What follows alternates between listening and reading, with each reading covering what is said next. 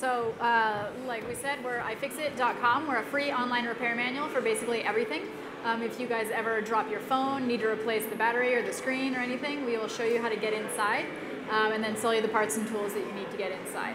We do the teardowns. We're doing the teardown right now of Mhm. the Samsung NX500. NX500, yeah. Which a few of you guys are gonna, I think, walk away with this camera. That's what I heard. So if you happen to be one of those people, you might want to see what's inside. This will be kind of a first look at a device inside to see what kind of chips are on the board, so kind of an investment interest and also uh, consumer uh, I'm gonna get started sort of while you're introducing really Yeah, quick. So because this is gonna take a while, this is a pretty complex device. So first of all, always take out the battery. So I've started with that. That was easy.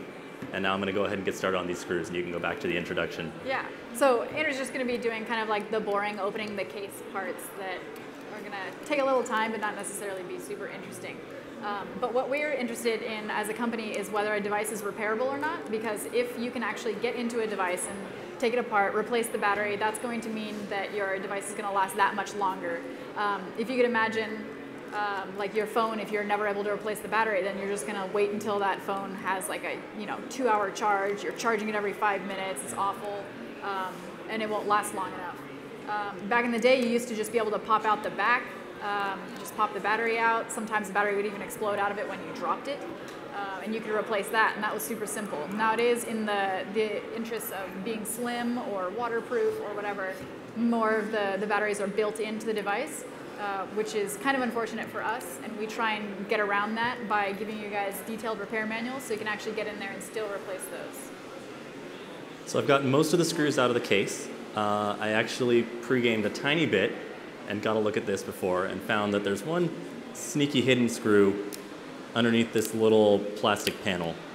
So I'm going to pry that up with my favorite tool right here, the spudger, is just a anti-static nylon stick with a pointy end and a flat end. So oftentimes we'll see this kind of thing. Um, if there are, you undo all the screws and you still can't get the device open, sometimes that means there's a sticker or a bezel or something that needs to come off first uh, that's actually hiding a screw down there. So that's the kind of thing that if you had a repair manual, you'd definitely know about that. But if you didn't, then you might end up pulling on something that you shouldn't be pulling on and breaking it accidentally.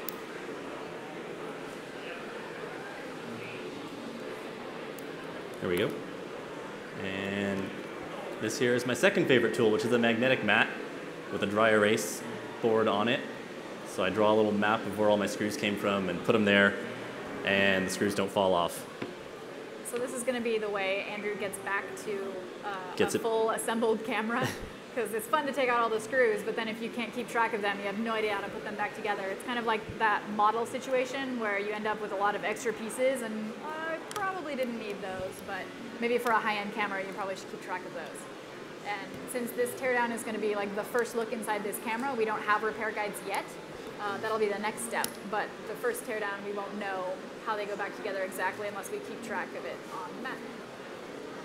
All right, so I've got it open, and there's one cable in here that I'm going to disconnect really quick. So that's the LCD cable or something? Yeah, so that's actually for the LCD on the back here. So that was actually way easy. Uh, we recently took apart Sony's A7R2, and to get that back panel off, I had to completely disassemble the LCD and take it off first, which was pretty awful. So this was nice. Uh, there's just this one cable here, and then it connects with another little flex to all the controls and the buttons back here. So that's off, that's out of the way. And if we have time, we'll go back to that, but I think there'll be more interesting things deeper in. So we can get into that now. So yeah, after we take out that front portion, uh, it looks like we've got a motherboard here with some cables. Yeah, cables and some chips. Uh, obviously, what a surprise, there's a Samsung chip. That's probably some RAM or maybe some flash memory in there.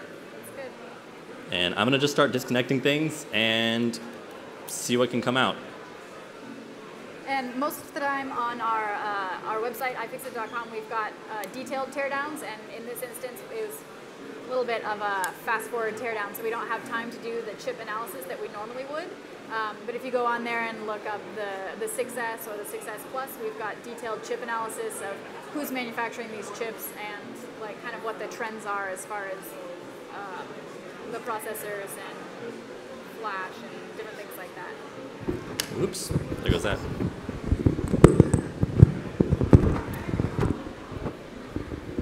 Are you a little bit quiet there, Sam? I guess so. All right, well, I can keep talking. I'm pulling out flex connectors, which is super fun and a good way to break things. And this uses a few different kinds of connectors, which is great because sometimes it's easy to disconnect and sometimes it's not. We'll it's always yeah, it's always fun when you encounter a new kind of connector where it's like, okay, I have no idea how to do this. Like a few of those were ZIF. Is that one just yeah, like I'm not, a pop not really sure. or- I'm gonna take out some screws and see if the motherboard can come out. That might be one. And a detailed repair guide would definitely have instructions on how exactly to disconnect all these cables. Uh, something like a ZIF is a zero insertion force uh, connector and cable. And those are very familiar and super easy to take out. Something we're very familiar with, but sometimes you run into stumbling blocks and it takes a, a teardown or our repair guides to kind of figure it out before the common user can follow the guide without breaking it. And that's kind of the cool thing about iFixit is that we break it so you don't have to. So we'll go through the first time and figure out where you're going to accidentally cut a cable or where you should not pry. And then we'll make our repair guide knowing that so the next guy doesn't have to do that. All right, I'm going to just pull. There we go. Beautiful. So we've got this board off. This has the, the SD card slot on the back here, and then these are the connectors for the battery. So you can see the, the battery here would have lined up right there in its slot. And this is also the probably the mini HDMI and USB ports on the side there. So pretty standard. It doesn't look like they've uh, done anything too fancy. They've got like very simple um, connectors and and chips, which makes it kind of a nice replacement part. Yeah, here's a, under that little sticker, that's an SK Hynix. It's labeled eNAND, so that's a small little flash module. So it's probably some kind of buffer or small module just in case you don't have a card in there, hopefully. Uh, oh, and this right here is the, the DRIMe engine. So that is part of the camera processing something or other. I don't know, I don't do a lot of camera teardowns. But that guy right there. And that I think is the same engine that's in the NX1, which is sort of this camera's big brother you guys might know about. Yeah, this is a scaled down version. It's missing some of the, the bigger hallmarks, but is still a pretty powerful little camera. Honestly, this is a much simpler camera than I've taken apart before, so that's nice. uh, it looks like the next thing is just to take out some more screws. The image sensor is going to be somewhere in this area, obviously, it's behind the lens. So let's see if we can get that out, because that's kind of a more exciting part. Looks like it's got a second dedicated board too. Yeah, definitely a second board for that. So like Andrew was saying that iFixit tries to, well, we don't try to, but we will break things before you guys will, um, so that we'll kind of get the process down. iFixit is actually a user contributable website. We're kind of like a repair wiki. So anyone can go online and create an account and uh, upload a repair manual yourself. Um, so if you have a broken camera and it's already broken and you're thinking about throwing it away, you may as well take it apart, document the procedure, and then you can show the next person how that works. Um, you can also, if you can find the repair part for it, just replace it yourself um, and either use it yourself or sell it downstream, and that will keep that device alive rather than put it in the landfill and be much more environmentally responsible. And if you're interested in trying your hand at taking some repair photos, like how to take something apart, showing someone. We're actually doing that at our booth, um, not right now, but at about 5 o'clock after we're back there. We're doing some hands-on guide photography. It's definitely a fun way to find out that these uh, cameras and phones and things aren't as mysterious and scary as you think they are. They're not just a mysterious box full of magic. Um, they do have components inside them like an LCD and a battery and a motherboard um, and as long as you're careful uh, and have the right tools, then you can get in there and replace things fairly easily. It's a squeaky one. so because I've never taken this apart before, at this point I'm just looking for screws and pulling them out. And then trying to draw a little bit of a map of where they came from so that when I'm done they'll be able to go back in. It's definitely a challenge when you're doing this for the first time and we are on stage under time restrictions. so we're going to try and be as careful as we can.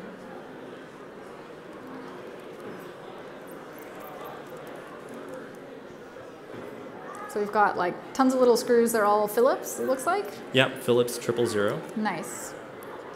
Phillips triple zero is like a really common screw. That's going to be like if you have an eyeglass repair kit, or if you can get down to a CVS or something, you can wanna take that like buy one of those screwdrivers fairly easily and bust into these guys. Unfortunately, sometimes you end up with like Apple has manufactured a five-lobed uh, screwdriver bit or screw that uh, is called a pentalobe, and no one has a pentalobe driver just commonly rolling around in their drawer, so it's very hard to get into your phone. Um, for example, like if you drop your phone in the toilet, like it's gonna be really hard to get in there and open it, dry it out. Um, so it's kind of something that we don't like manufacturers to do is have those proprietary screws or like tons of adhesive or something that impedes repair. Um, and that's something we're definitely looking at when we're doing these teardowns is okay, is this manufacturer being responsible or are they just trying to you know, like throw a camera together um, and have a device that won't last very long. So every device we take apart gets a repairability score. So on our website, if you scroll through a teardown, it'll be assigned a score 1 through 10, 10 being very repairable and has a repair manual published, and uh, 1 will be super low repairability. So this camera is looking like it's doing pretty well so far. It was, yeah. I found some suspicious looking pads of glue that I'm going to try and cut off Oh, that's unfortunate. because I think that those might be what's holding the image sensor in. Sometimes glue is used for waterproofing or for vibration dampening. Um, a lot of times there are like brackets or tapes that will be put over connectors to try and keep them secure. Um, so re- used responsibly, glue can be fine, um, and screws and clips and that kind of thing. But when you go overboard, like with the, the Microsoft Surface Pro 3 had how many screws? 84 Some screws? far too many screws. way too many screws just to get into the thing and it was already glued shut anyway so you take out all these screws and you're like okay this is gonna be fun it's gonna be openable and then it's absolutely not so you have to sit there with a, a, a hair dryer or like a hot bag of rice or something to try and get in there takes another 20 minutes so clearly not meant to be repaired Oh, here we go. I couldn't see from the lights. There's a dark shadow, but these are screws on the image sensor, Ah. not posts. So we're in luck. We'll be getting around sooner. so are they set screws or Uh, these are hex screws, so they're Allen keys. ah and did they have screws on in the top of them or were they just like that Uh, they're these three guys Okay. here. So we've got here, uh, Andrew is using our 54-bit kit uh, inside the Pro Tech roll. So we've got 54 different kinds of screwdriver bits, which are going to be the most common in uh, electronics repair. We've also got uh, plastic prying tools and metal prying tools, and so far we haven't been foiled, and we've had everything we need, even though hex is fairly uncommon. Yeah, it's probably not something that Sony expects their users to be touching. So they don't necessarily want to go for the Phillips. Um, probably a little less likely to strip though, which is nice. Yeah, maybe more secure. You've got a bigger head on there, so that's good. Apple actually kind of does the opposite, that it puts its complex screws on the outside, so it's really hard to get into the device, but once you're in there, it's all Phillips screws. So their, their techs have, So we've got the image sensor out. Sorry to interrupt you, Sam, No but this is kind of a cool part. And this is actually the same image sensor that's in the Sony, sorry, the Samsung NX1. Whoops, not going to touch that. Uh, which is like a 28 megapixel, and it gets the light kind of cool. You get nice little shines on it. uh, and so you can see it's in a little bit of a, a springy cradle in here with these three springs that it rests on, and that's to try and reduce the vibration on it. And there are all sorts of layers in here as well. Um, this, all the circuitry is in the back. This is a backside illuminated sensor. And so all of the electronics are behind instead of in front, which lets you get more light to the sensor, which gets better pictures in low light settings. So I'll set that aside as well. There's a whole stack of, of lenses and filters on top of this as well, including like an IR filter and other such things. very cool. So let's go back in here to the camera. We're actually doing pretty great on time. That's the fastest I've gotten to an image sensor. It's pretty impressive on Samsung's part then. Yeah. So as long as you have these uh, pretty common tools, then you can get in there and clean your image sensor or replace it as well as the, the back panel there. And so far we haven't had that many screws either. We've got like on the order of 20 or so. Yeah, that's which true. Which is pretty nice. So far, no crazy clips or screws either. Yeah, it's been a pretty straightforward disassembly. I'm a little hesitant to get in here and take apart the shutter assembly, Yeah. which is in here, because that's kind of like opening up a pocket watch and all the springs are going to fly out. So we'll save that for a bit in case we're really looking for something. It might guess- go back for the LCD. Yeah, let's go ahead and work on the LCD now. So this is a combination. Uh, this is a three-inch AMOLED. It's actually not an LCD, uh, and it's also a touchscreen, which is pretty rad. Um, I see that its cable runs in through the back here. I don't know if you can see Oh, that. through the hinge? Yeah, there's a little trap door that covers it. Um, and then there are a couple of screws on the bottom here. So I'm going to go ahead and start with those and see where that leads us. All right, sounds good. Uh, the display on a camera is kind of one of the most likely things to break actually when you drop it. If it's not your lens that gets ruined, that's easily swapped out, um, Mhm. but it can be uh, the display. Exactly. So this is a good, a big nasty crack on your display repair, will yeah. definitely ruin your day. yeah. And this one doesn't have a viewfinder either, so That's right. There's no electronic viewfinder on this camera, which is what makes it the, the more economical version of its big brother, Mm-hmm. and also smaller and lighter. And having it on a hinge is nice to avoid glare, but anything that has a cable that flexes constantly like that is going to experience some wear. That's right. So that cable is in danger. And part of repairability is durability. Um, so sometimes the glue and the screws and that kind of thing is what's actually holding the thing together. And if you do drop it, it's going to be rigid enough that it won't crack. Um, but we want to kind of balance that with actually being able to get in and actually repair it once it does break, because that's fairly inevitable, especially with batteries, because batteries will never last forever. It's only a matter of time before they wear out. Andrew's using a plastic opening tool right now, which is a flexible kind of plastic prying tool that will allow you to get inside of things. Uh, it's harder than a fingernail, but weaker than your device. So ideally, it will break before your device does. And if it breaks, then you know that you're doing something wrong. Uh, you may need to apply heat or pry in a different place. Look so for screws. can actually see something. I got the the L- or the display is separated. Separated. There's a little bit of adhesive that holds it onto this tray. Just fits like that. But now it's still held in place by the cable. So I'm going to go back to those little screws in here. See if I can get some glare on it so you can actually see it. There we go. So those two screws there hold down that little door on the cable. So I'll pop those off, and then we should be able to get the display separated. Nope, three screws. So it's nice that there's actually a little access door there. Yeah, I think you'd still have to take the back of the camera off because this cable connects to the board inside. Right. But as we saw, if you know how, that wasn't too hard. Yeah. Um, in some instances, like in the Nintendo DS, that's a clamshell kind of uh, double displayed uh, device, and it filters its uh, cables. Uh, there's like three of them that go through the, At least, the yeah. hinge. yeah, they go through the, the display hinge, which Um, yeah. is a nightmare. So you have to like disconnect all the cables and then roll them up as tightly as you can so you can pass them through the metal tube thing. So it's like imagine rolling up a sleeping bag tight enough that you can fit it through, I don't know, a toilet paper tube.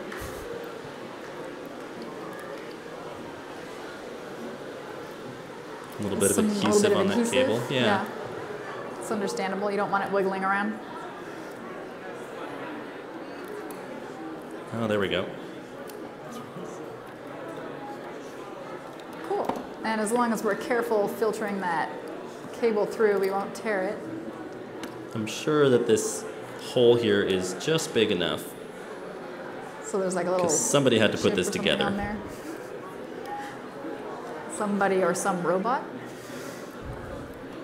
I'm going to fold this over. There we go. Awesome.